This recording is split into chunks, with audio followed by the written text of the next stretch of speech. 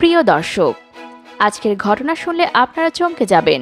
বাবরি মসজিদের নিচে খুঁজে পাওয়া গেল নাকি পিরামিড? তাহলে আজকে আমরা জানতে পারলাম, এতদিন বলা হচ্ছিল বাবরি মসজিদের নিচে মন্দির আছে, যা পুরোটাই মিথ্যা। পুরো ঘটনা জানতে ভিডিওটি শেষ পর্যন্ত দেখুন, কারণ দেশ বিদেশের সব খবর এখানেই পাবেন। আর হ্যাঁ সাবস্ক্রাইব করতে ভুলবেন না কিন্তু। উনিশশো বিরানব্বই সালের ছয়ই ডিসেম্বর ভারতের অযোধ্যা শহরে সপ্তদশ শতকে তৈরি এক ঐতিহাসিক স্থাপনা। বাবরি মসজিদ ভেঙে ফেলেছিল উন্মত্ত হিন্দু জনতা। এ ঘটনার পর ভারতে যে সাম্প্রদায়িক দাঙ্গা ছড়িয়ে পড়ে, তাতে নিহত হয় প্রায় দুই হাজার মানুষ।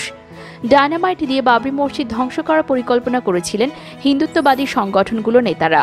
পরে বলা হয়, এটা জনগণের প্রতিক্রিয়া।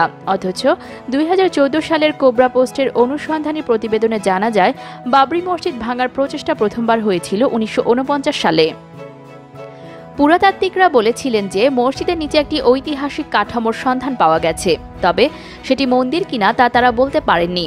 সরকারি উকিলকে আরও জিজ্ঞাসা করা হয়েছিল, চার হাজার বছর হলো সোনা আবিষ্কার হয়েছে, তো সাত হাজার বছর আগে সোনার লঙ্কা এলো কোথা থেকে? সভাপতি মেলেনি এ প্রশ্নের জবাবও। এবার বাবরি মসজিদ ভাঙার জন্য যে ট্রাস্ট গঠন করা হয়েছে, সেই ট্রাস্টের অধীনে একটি চিঠি পাওয়া গেছে। সেই চিঠিটি আঠারোশো পঞ্চান্ন সালে লেখা হয়েছে, যেখানে বলা হয়েছে, বাবরি মসজিদের নিচে পিরামিড আকৃতির কিছু একটা আমরা পেয়েছিলাম, যা মোদী সরকার গোপন করে আদালতের কাছে সেটি প্রকাশ করা হয়। কারণ তারা জানতো, যদি এটি তারা আদালতের কাছে দেয়, তাহলে তারা আর কোনোদিনও বাবরি মসজিদ ভাঙতে পারবে না। তারা সেই সাতটি স্তম্ভের কথা বলছে, এইগুলো সব পিরামিড।